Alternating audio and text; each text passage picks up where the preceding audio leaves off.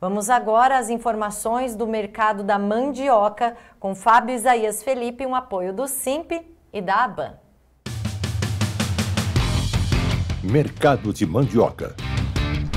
Oferecimento Simp e ABAN. Olá, agora a nossa conversa é sobre o mercado dos derivados da, da mandioca. Bom, começando pelo mercado de fécula, na semana passada tivemos uma melhora na procura pelo derivado. Na verdade, essa melhora já vem ocorrendo há algumas semanas, porém, na semana passada refletiu em maior liquidez também, saindo mais negócios. Tá?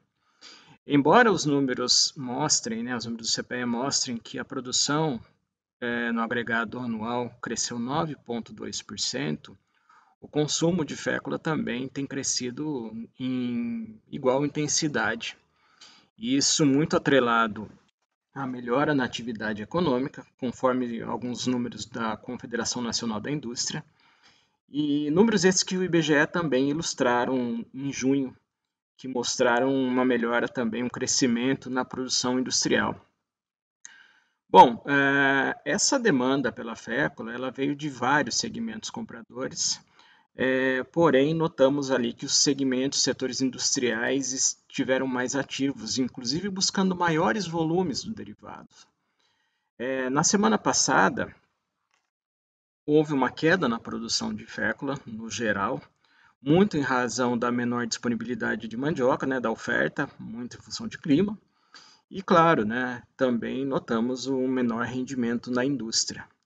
Sendo assim, tem havido uma certa dificuldade em repor os estoques que estão 27% mais baixos nesse ano se comparados a igual período do ano passado.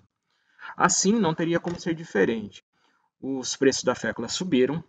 Para se ter uma ideia, a média da semana passada teve um avanço de 2,9% a R$ 79,94 a saca de 25 quilos, que equivale a 3,197 a tonelada. Em Mato Grosso do Sul, por conta de uma demanda bastante fortalecida, principalmente quando se fala em negociações entre fecularias, é, a alta semanal foi de 3,4% a 77,18 a saca de 25, que equivale a 3.087 por tonelada. No Paraná, o avanço da média foi de 3,1%, com a saca em 81,72, equivalente a 3,268,68 centavos por tonelada.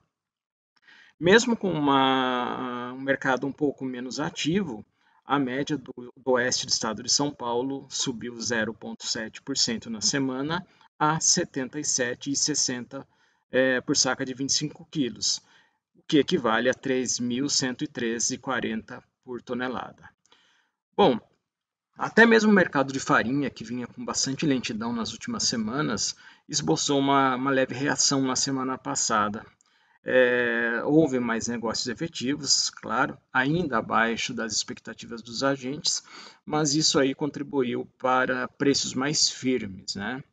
É, o preço médio da saca de 50 quilos da farinha de mandioca fina ficou em 113,37, com uma valorização de 1% na semana. No caso da farinha grossa, houve uma leve reação de 0,4% na semana a R$ 90,78 por saca de 40 quilos. Então, seguimos atentos acompanhando uh, as mudanças no mercado. Mercado de Mandioca tem o apoio do SIMP, Sindicato das Indústrias de Mandioca do Estado do Paraná, e da ABAN, Associação Brasileira das Indústrias Produtoras de Amido de Mandioca.